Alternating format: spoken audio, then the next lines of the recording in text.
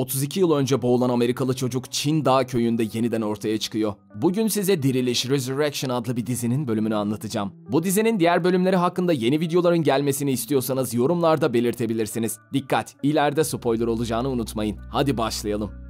Amerikalı bir çocuk teyzesini kurtarmak için yanlışlıkla suya düşer ve boğulur. 32 yıl sonra mucizevi bir şekilde Çin'de bir pirinç tarlasında uyanır. Büyük bir şaşkınlık içinde tarladan çıkar. Neden burada olduğunu bilmiyordur. Markete doğru yürürken nazik bir Çinli kadın onun kaybolduğunu anlar ve yanına gelip neyin var diye sorar. Yanındaki adam da çocuğa yardım etmek istediğini söyler. Çin halkının başkalarına yardım etmeye istekli olması geleneksel bir erdemdir. Çocuk kaygılanır. Adam ona anne babasının nerede olduğunu sorunca yabancı bir ortam ve aksanla karşılaşan ve iyice kafası karışan çocuk hiçbir şey hatırlayamaz ve bayılır. Sonunda polisin yardımıyla Amerika Birleşik Devletleri Büyükelçiliği ile temasa geçerler.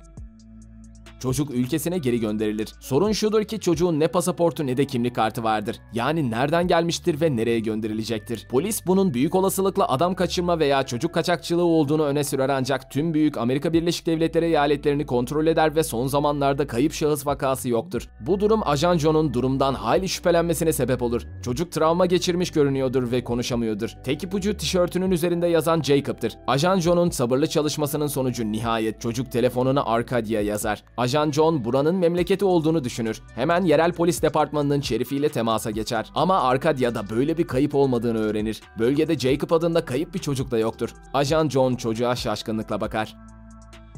Çocuk esirgeme kurumunu arar ama çocuk ebeveynleri ve bir evi olduğu konusunda ısrar eder. Ajan çocuğun masum gözlerine bakar ve onu evine götürmeye karar verir. Arkadia'ya vardığında çocuktan ona yolu göstermesini ister. Çocuk gülümseyerek başını sallar. John arabayı çalıştırır ve yola çıkarlar. Uzun bir yolculuktan sonra sonunda Arkadia'ya gelirler. Çocuk arabayı bir ailenin evinin önüne park eder. Ardından kapıyı çalar. Kapı yaşlı bir adam tarafından açılır. Adam oğlunun kayıp olduğunu doğrular ama onun oğlu 32 sene önce ölmüştür. Ajan John ondan özür dileyip dönecekken Jacob aniden basamaklara çıkar, baba diye bağırır ve yaşlı adamın kollarına atlar. Babası halüsinasyon gördüğünü sanar. John da tamamen afallamıştır. Adamın eşi de dışarı çıkar. Oğlu Jacob'ı görünce şaşkınlıktan kala kalır. 32 yıldır ölü olan oğlu aniden ortaya çıkmıştır. Çocuğu içeri alır. George ise kapıda ajan John'a oğlunun 8 yaşındayken nehirde nasıl boğulduğunu anlatır. 32 yıldır ölü olan oğlunun hayata dönebileceğine inanmayı reddediyordur ama Jacob boğulduğu zamankiyle aynıdır. Kıyafetleri bile tam olarak ortadan kaybolduğu zamankiyle aynıdır.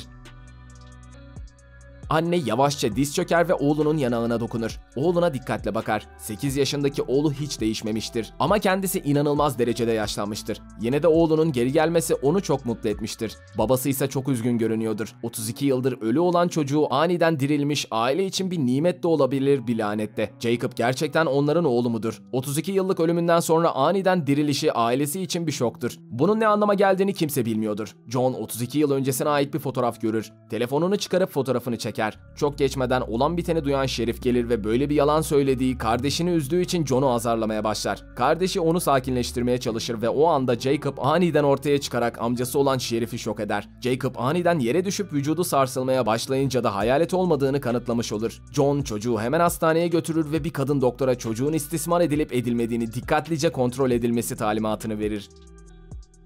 Doktor Jacob'ın göğsüne bir steteskop dayar ama hiçbir şey duyamaz. Doktor steteskopun arızalı olduğunu düşünür. Bu yüzden birkaç kez vurduktan sonra steteskopu tekrar Jacob'ın göğsüne koyar ve ancak o zaman kalp atışını duyar. Odanın dışında ajan John kadının amiriyle telefondadır. Amiri çocuğun ebeveynlerinin 60'lı yaşlarında olduğunu duyunca DNA testi yaptırmalarını önerir. Çocuklar uyuşmazsa Jacob geri getirilmelidir. Telefonu kapatan John DNA testi yapması için bir doktor ayarlar. Geceleyin Jacob pencerenin önünde durup gözlerini dışarıdaki ışığa diker. Test sonuçları gelmeden gelmeden önce çocuk aniden ve gizemli bir şekilde ortadan kaybolur. Polis ve baba uzun süre arar ve sonunda çocuğu ormanda bulurlar ama Jacob babasını görünce ormana doğru kaçar. Babası oğlanın başka bir kaza geçireceğinden korktuğu için peşinden koşar. Bu sırada oğluyla oyun oynadığı zamanlara dair flashbackler izleriz. Bu anılar onun için mutlu anılardır ancak 30 yıldan fazla bir süre geçmiştir ve fiziksel gücü artık yeterli değildir.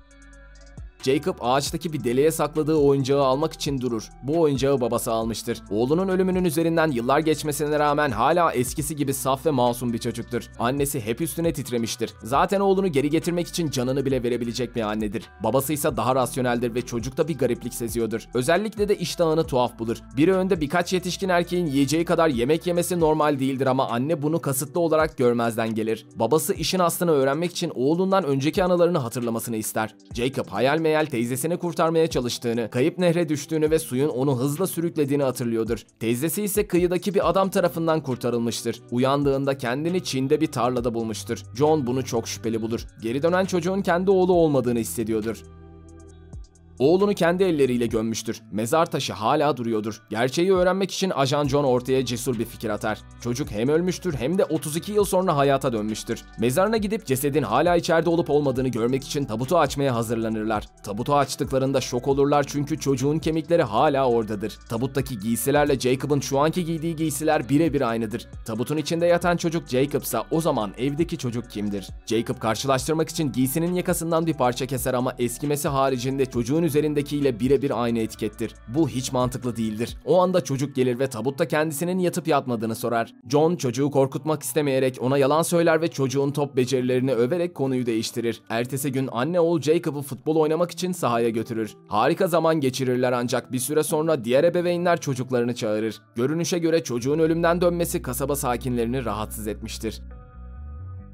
Gecenin geç saatlerinde kasabanın çocukları Jacob'ın penceresinden içeri bir el feneri tutar. Jacob korkudan tekrar nöbet geçirir. Babası çocukları uzaklaştırmak için hemen ayağı fırlar. Çocuğun dirilişinden birkaç gün sonra kasabada bir kişi daha dirilir. Bu adam 13 yıl önce kalp krizinden ölmüş ve cesedi yakılmıştır. Adam küllerini işaret ederek kızı Anna'ya bunların kendisine ait olmadığını söyler. Babasını gördüğüne sevinen Anna ona hemen inanır ama erkek kardeş bu babanın sahte olduğundan şüpheleniyordur. Şimdi iki kişi ölümden dönmüştür. Ajan John'un merakını perçinlemiştir. Ertesi gün kadın doktorla birlikte çocuğun suya düştüğü nehri bulurlar. Doktor John'a annesinin de çocukla birlikte boğulduğunu, gerçeği bulmaya çalıştığını ancak boşa çabaladığını söyler. Adam dirilişinden sadece birkaç gün sonra ormana gidip yeri kazmaya başlar. 13 yıl önce suç ortağıyla birlikte bir para kamyonunu soymuş ve bütün parayı ormana gömmüştür. Sonra fazla heyecandan ölmüştür. Şimdi bu parayı çocuklar için gömdüğü yerden çıkaracaktır ama gün boyunca kassada hiçbir şey bulamaz. Suç ortağının parayı aldığından şüphelenir.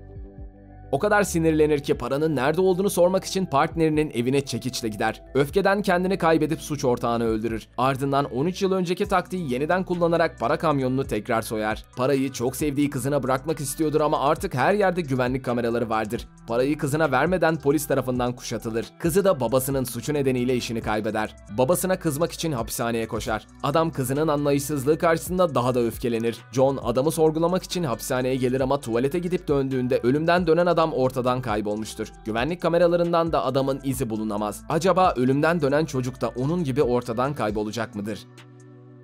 Dizinin başka bölümleri için bu videoyu beğenin ve paylaşmayı unutmayın. Bir başka videoda görüşmek üzere. Hoşçakalın.